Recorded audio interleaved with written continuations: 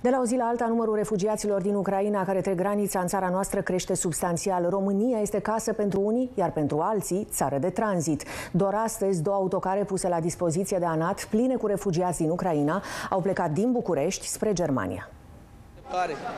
Ana este din Nicolaev și are 37 de ani și a lăsat în urmă casa, amintirile și întreaga viață de frica războiului. Dar cel mai depres lucru pe care l-a lăsat în Ucraina este familia. O parte din rudele ei sunt în Harkov, oraș intens bombardat. I have no tears to cry anymore because it's awful. I uh, believe that everyone wanted to go home and Ana a ținut să transmită un mesaj și în limba ucraineană. Слава Украине, героям слава, мы с вами, мы будем всеми способами помогать с тех мест, где мы находимся. Я тоже занимаюсь волонтерством, мы вас всех очень любим, держитесь, пожалуйста. Două zile a stat în România. Acum e în drum spre Germania, unde o așteaptă prietenii săi. Hey, one more time, mulțumesc for your guestness and for everything that you do for us.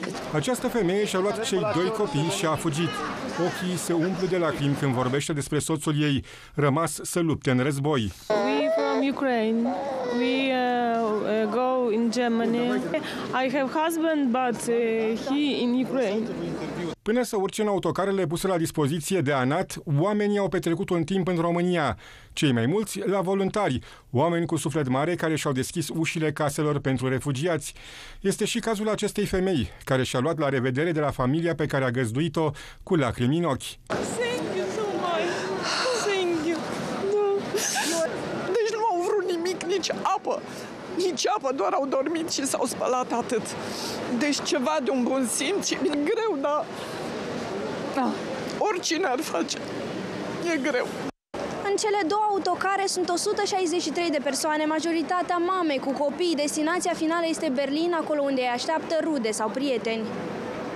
Agențiile de turism au asigurat constant, de la începutul crizei, transport pentru cei care au fugit din calea războiului, atât terestru cât și aerian.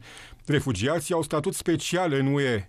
S-a facilitat accesul și trafic, tranzitul acesta al copiilor, atât prin România, cât și mai departe prin Europa, astfel că nu au nevoie de alte acte speciale, chiar dacă vorbim doar de mamă și copil și nu este întreaga familie pentru a putea trece așa cum este în mod normal să treci granița. Iar ajutorul nu se oprește aici. La nivelul ANAT-ului am organizat încă de săptămâna trecută un call center ad hoc care preia apeluri de la refugiați în română, ucraineană, maghiară, engleză, franceză, spaniolă, deci în mai multe limbi de circulație internațională. Acolo preluăm cererile de transport. De la începutul războiului, peste 260.000 de refugiați ucraineni au intrat la noi în țară. Dintre aceștia, peste 182.000 au plecat deja.